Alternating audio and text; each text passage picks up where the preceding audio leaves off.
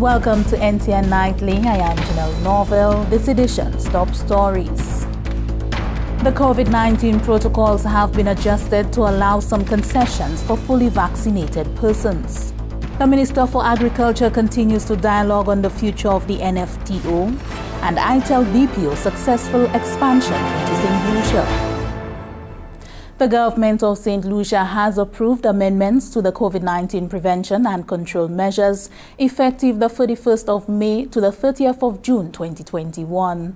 As St. Lucia continues to strengthen its vaccination campaign and after careful deliberation on recommendations from the command center, the Cabinet of Ministers has agreed to adjust the COVID-19 protocols to allow some concessions for fully vaccinated persons. This includes allowing competitive sporting activities and social activities for a limited number of persons, both with strict protocols. Prime Minister the Honorable Allen Chastanet made the announcement. Returning nationals and visitors with a negative PCR test and who are fully vaccinated will not require quarantine. And random COVID 19 testing will be done at the airport, at all points of the airports, on their arrival.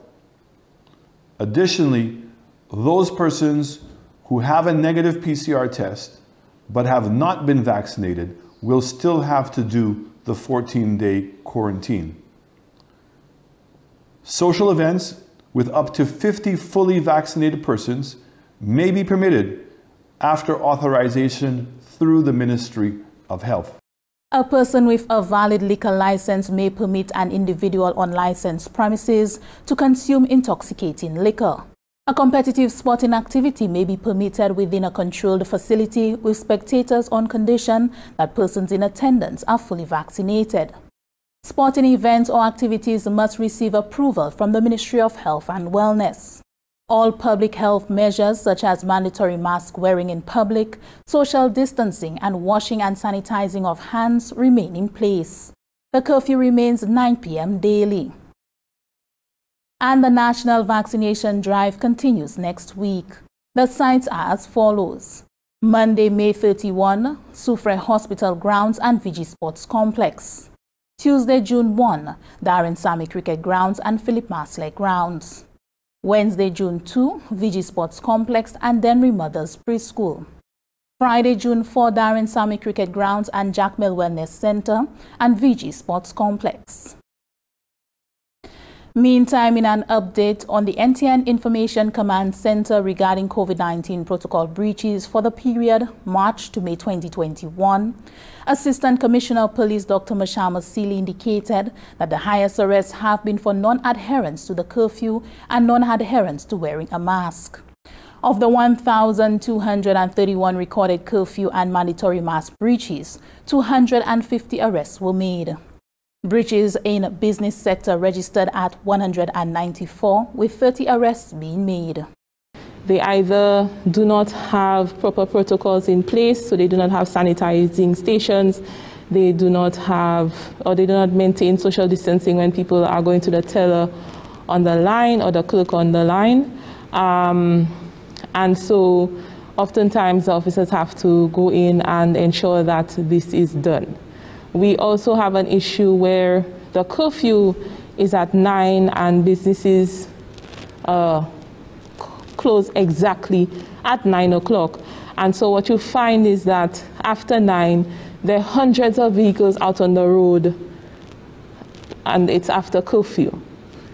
So we're asking that uh, businesses close in time so that the workers and they themselves can get home before curfew, which is 9 o'clock, um, so that we can enforce the protocols and ensure that everyone is safe. Lawmen also intercepted 13 house parties, resulting in four arrests, and 30 mass crowd events, resulting in two arrests. You'll find that we have those issues more on the weekend now. So from Friday to Sunday, we have to go to, we're given information that somebody's having a house party. They have, it's not, you know, their family members are not the ones at the party. There, it's more than the 10 that is allotted in the protocol. And so we have to shut down those activities. During the holidays, you will find um, people congregating on the beaches in large numbers, especially uh, Pigeon Point Beach and Sandy Beach, and they're, they're not maintaining the social distancing um, as they should. And then you'll find two weeks later we have an increase in infections. There were 22 cases of breaches in home quarantine and state quarantine. 13 cases of hotel breaches were also registered, resulting in one arrest. The total number of arrests made during the reporting period of March to May 2021 is 288. Meanwhile, all 163 minibus travel breaches registered for this period were let off with warnings. The Minister for Agriculture, Fisheries, Physical Planning, Natural Resources and Cooperatives, Honorable Ezekiel Joseph, recently chaired a meeting on the status of relations between the National Fair Trade Organization and the government of St. Lucia. Anicia Antoine reports. As the government of St. Lucia moves to gain more involvement in the National Fair Trade Organization, NFTO, Agriculture Minister Honorable Ezekiel Joseph convened a meeting with all nominees who are expected to fill in the executive positions on the organization's board of directors. The meeting, which took place on Thursday, May 27, 2021, demonstrates the government's commitment to initiating the strategic new direction, which it says will benefit the NFTO and its member farmers as the previous operating procedures proved ineffective. The options that were put on the table by the consultant in restructuring the NFTO, all three options refer to government having full control. And the farmers participated in that, in that, in that process. I, I believe the farmers are more disappointed, or the majority, of them, the majority of them are more disappointed that we did not take full control. And I do, that is not the thinking of government. The thinking of government is to see how we can work with the farmers. We believe that there are enough individuals um, in the respective groups that can provide proper leadership. I have the fullest confidence in that. What they need is the support. Um, and that is what I am comfortable with the support of my, my cabinet. We are comfortable in giving the support and not to take over. According to Minister Joseph, the government is continuing to collaborate with the NFTO board to put the legal framework in place to begin restructuring the banana industry.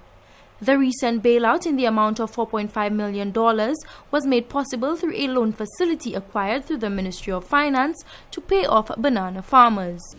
I must say that whilst we have, um, as a government, despite the fact that we did not um, receive on a timely basis a reply from the NFTU as far as members are concerned, we took a decision with the support of Cabinet and um, the Minister of Finance to pay some advance payment to the banana farmers. Now it has moved from 14 weeks, um, well, it has moved from week 14 to week 20 because when they wrote us sometime in April, they were owing banana farmers from week 7 to week 13. Today we learned that it has moved from week 14 to week 20. So there's still a lot of money outstanding for the banana farmers, which of course we had factored in in the loan that we are getting from the from the um, Central Development Bank with the support of the Ministry of Finance. Minister Joseph notes that the immediate goals of the NFTO as well as the government of St. Lucia are to ensure that farmers are paid on time and that they produce high quality commodities.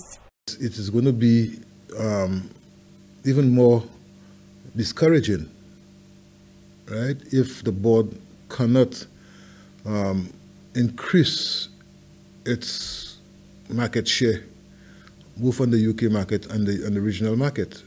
So if the, if the board cannot do that, and, and what I'm learning today is that there is an interest and there is there have been requests by the supermarket through the fruit Fyffes that they want more fruits. So it's for us now not only to sell more fruits, but to sell more quality fruits. That's important um, because we cannot continue to, to export fruits, and when it reaches up there, almost 50% of the fruit is being dumped, right? And, and instead of the, the importers of our fruit owing the NFTO, the NFTO is owing the importers. We cannot continue that. We have said so before. Minister Joseph reaffirms the St. Lucian government's commitment to assisting the island banana farmers, constituents who are pivotal to the success of the island's agriculture economy. ITEL BPO continues to expand its operations in St. Lucia, having opened its doors on the 15th of July 2020 with 30 employees. The business now employs some 400 St. Lucians. Featured in the program In the Know, produced by the Office of the Prime Minister, founder and chief executive officer Yoni Epstein explained that the company has been working with Invest St. Lucia to expand even further. The business is already outfitting another facility and is looking to increase its staff complement to 1,200. With the second building, we're, we're coming up close to about 700 employees on the ground. With the additional 30,000 square feet, we want us to be, to be closer to about 1,200 employees here in St. Lucia. Okay. Uh, we love the south. We'd have, we, although I love the north, we'd have an intentions to go to the north. I mean, we, we feel very confident of being in this campus-like uh, facility. Um, in the second building, we just finished building a canteen um, as well too, and I'm told that the caterer is going to take over on the 1st of June.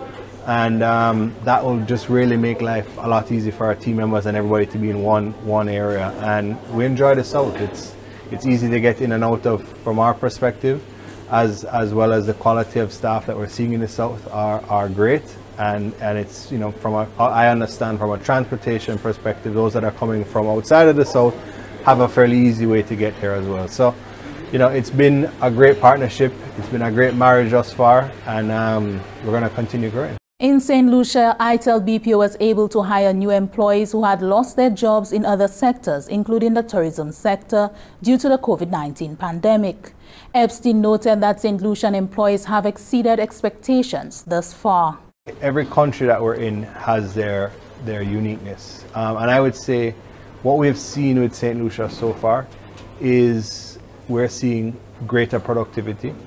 Um, we're seeing lower absenteeism and lower attrition than some of our traditional countries that we operate in. And, and to me, um, you know, that just says a lot for going back to our four whys, the quality, mm-hmm. right? quality of staff are producing as good or better than you know more senior sites. So that means that they actually have more to gain. Yeah. Right. When you think about reliability, you know we're we're confident they're going to be coming to work because we see our attrition lower, we see our absenteeism lower. Um, you know when you think about integrity, um, you know we're we're not having to worry about certain aspects of potential fraud or cyber crime or things like that here in, in, in St. Lucia. And then family, they've, I mean, we're, we're coming up June, uh, July 15th last year is when we, we opened the site officially. Mm-hmm. Um, so we're coming up on a year in St. Lucia and they've just, you know, immersed themselves into the family culture as if they've been here for years. The founder and CEO indicated that the plan has always been to expand, hiring new staff and increasing clientele. Some aspects of this plan were fast-tracked due to the COVID-19 pandemic, which has affected business operations the world over we went out to a few clients, we set a target, we said, you know, within the first year, let's attempt to get to 200 employees. And we weren't really sure how the client take-up was going to be because although I may believe St. Lucia has what it takes, our clients also have to believe that it has what it takes because they're taking a gamble. Mm-hmm. As we know, it is an industry that has been here for some years. Yes. There is experience in it. However, um, it's not widely known. Mm-hmm. Um, so our clients took a gamble with us. And basically, because of the, the, the power of our brand, um, and ITEL saying to them, you gotta try St. Lucia, come with us, test it out, let's right. see. Um, they said, you know what, it's worth it. We want to expand our footprint, we want some country redundancy. We trust you guys, you guys have done great work for us, let's go. And as we started on that that journey of going to different clients, and I think also the, the pandemic actually helped to fast mm. forward that because people wanted more and more redundancy. There was, you know, different protocols in, uh, depending on the country you went to. There was lockdowns because of what was happening in a particular country or a, in a major city. Um, so this gave them greater coverage. Founder and Chief Executive Officer of ITEL BPO, Yoni Epstein. This is NTN Nightly. Up next, Primus Hutchinson with the NTN Nouvelle Aquayol. Here at St. Lucia Distillers, we produce an award-winning range of rums and rum products. We export our rums to the Caribbean, North America, and Europe. Standards facilitate our entry into overseas markets. In the rum business, it is critical that our distillers and blenders get it right. St. Lucia Distillers is HACCP certified. We use two standards from SLBS, the standard for labeling of prepackaged foods, SLNS 1-3 2014, and the National Specification for Rum, SLNS 12 2003. We are also a registered member of the West Indies Rum and Spirit Producers Association, WISPA. SLBS ensures that we are up to standard and world class. This message is brought to you by the Commonwealth Standards Network. Welcome back. We join Primus Hutchinson for the NTN Nouvelle à Creole. Monsieur, Madame, département qui est responsabilité pour information en gouvernement cette-ci, ça c'est GIS, c'est la télévision nationale pays NTN, qui a une nouvelle à Creole, présenté Primus Hutchinson. Premier ministre honorable Alan Chasney retourne cette ici récemment à Miami, Florida, et qui profite de l'occasion pour discuter et puis GIS ici a plusieurs projets qui dit qu'ils portent grand bénéfice à l'industrie bateau touriste pour pays. Premier ministre Chasney déclare que les ont gardé ces divers ports pour bateau touriste en région et que cette ici une bonne chance pour embrasser plus qu'à pile et faire comprendre que à présent, ces bateaux touristes là n'y brisent plus ont port pour accoster. Et pour ça, là, c'est qu'il ça pour un bon lavataille. Le ministre l'a expliqué aussi, projet aéroport neuf, il va complémenter sérieusement le développement secteur bateau touriste en façade sud cette ici. Le ministre Chasney a expliqué que la construction aéroport neuf là, qu'a fait à une façon qui va affecter l'autre établissement qui déjà existé. Particulièrement l'aéroport qui déjà là. Arrangement neuf là qui faciliter les passagers pour servir vieux aéroport Hiwanora, qu'on yon qui plus facile avant de aller bâtir bateau. Tout arrangement est en place, alors les yo quitter facilité pour bateau ça là, qui pas plus qui à distance de yon lié et demi, toute nécessité yo kay ja a bo bato a ad avans ma gwe servis la dwe nek imigrasyon pa kay fet an plas sa la. Premier Ministre Charles Ledi ki ma gwe industry tourist la twe eksite pou tout se benefis inisiatif sa la kay Malheureusement, la tenue yon bêtise situation qui était chagrinée. En parmi ces difficultés, ces situations financières, l'industrie bateau touriste là, et plus toujours, l'industrie a voulu assurance là qui, initiative nouveau ça là, ka e ipote a se servis soti vie for pou le westan se pasaje a ki a bon se bato sa la. Paski, si lò pou emenis la, se pa tout se pasaje a bon se bato a ka e soti set lesi. Alors, la ka e ini lot pasaje a bon bato sa la ki ka ale a sou excursion pou jounen a. Pou rezon sa la, set lesi katavay pre epi yo pou bay aswans la ki soufye pri pre vie for a se kastri. E kou sa servi ta sa la an soufye pito. Yon lot fason se pou organize vizitasyon anti Piefor ek Sofye. Premier Ministre Chastel deklare ki itwe eksite e kaspe pou la ni yon bon agreman anti sekte bato turist epi setlisi. Premye faz proje pou netwaye ek debouche dam dlo John Compton an tet cheme milet, jan fini kompletman apresan, Premye faz la, se te pou netwaye tout bousaye ki te samble olivon dam la pou fey posib pou ite sa gosi kapasite wezèv dlo an fasilite sa la. Dam dlo John Compton amase an hote di 1.7 kubik met bousaye pou se plize l'anè ki pase e ka wezèlta deplase plis ki 400 milyon galon dlo. Silon yon anse go Greg Wasko, anpil anse bousaye sa la, c'est en cause des mauvais temps et cyclone qui frappé pays en ce temps qui passé et aussi cyclone Thomas en l'année 2010 et mauvais temps Debbie en l'année 1994. Selon chairman gain directeur Wasco Francis Dembo, l'année en Loboussaï à Damla toujours et qu'il prend à peu près 10 l'année pour tirer tout. Mais plan Wasco, c'est pour tirer en l'autre 300 000 pieds cubiques en ces boussailles là. Selon Dembo, pou yon moun bie kopran de gwe bo say e la, se akom se di, se 50 savans pou fotbol, ek chak ni apipwe 20 pie bo say. E, e fè kopran, la pani pyes manye, yon kay satiwe tout se zodi sa la, an yon pou delane. E ajoute ki, yon kay selman satiwe 200 pie kubik bo say, e, an yon lane, ek sa sa fèt selman di wantan la pli, pa di wantan soley. ministre de responsabilité pour agriculture, pêche, ressources naturelles et coopératif, honorable Ezekiel Joseph, dit qu'il était satisfait et puis dit travail que j'ai fait, malgré la saison, la pluie a été très difficile.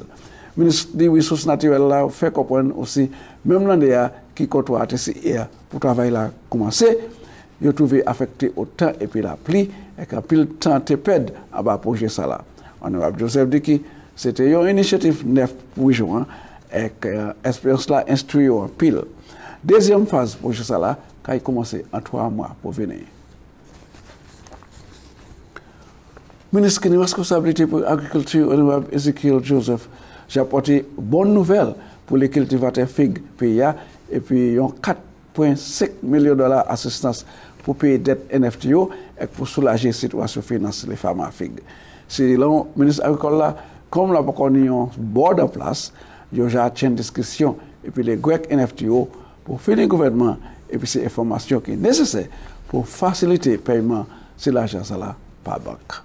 Nou pa kambi la ansa an kong NFTO, la ansa ka ale direct pou farmers. So, at least nou kare progress. Um, sa nou vle fè etchèlman, epi sa ka yon e stabilite bod la, parce qu'en uh, ministry, nous avons mis un petit programme en place. Pour ça, nous, nous, nous vivons à 4.2 million dollars, but you dis 4.5 million dollars. Uh, 4.5 million dollars à NFTU, qui a almost 2.2 million dollars, so, c'est dette ça, nous avons payé. in addition pour salary ces staff members là, ces staff members nous venir pour un encouragement tout because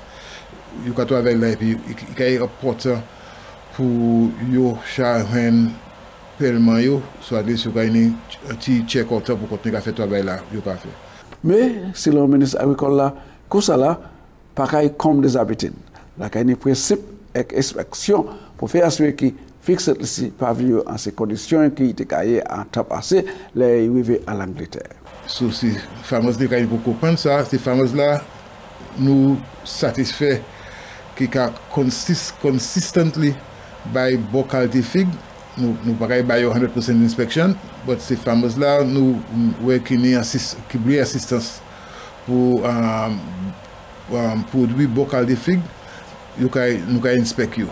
Pli, pli, pli um, gwav pa se famouz la nou describe ko um, a consistent farmer le vene pou bo kalite fig. Ek, mese madame, sa se te l'avoir ministre qui a une responsabilité pour l'agriculture, c'est aussi honorable Ezekiel Joseph, à cette situation paiement pour les femmes, qui a eu un grand soulagement à présent. Et c'est comme ça que nous avons cette nouvelle-là. Je remercie auteur pour regarder, je vous une invitation pour que vous considérer conserver la vie, vous avez posé pour l'autre nouvelle incroyable. Je vous souhaite tout le monde une bonne fin de semaine et ça célèbre mon vieux pour cette heure. Merci à Bill Primus. And that brings us to the end of NTN Nightly. Join us next time at 7 p.m. with a repeat at 7 a.m. You can also catch up with us anytime on the St. Lucia Government Facebook page or YouTube channel. I am Janelle Norvell.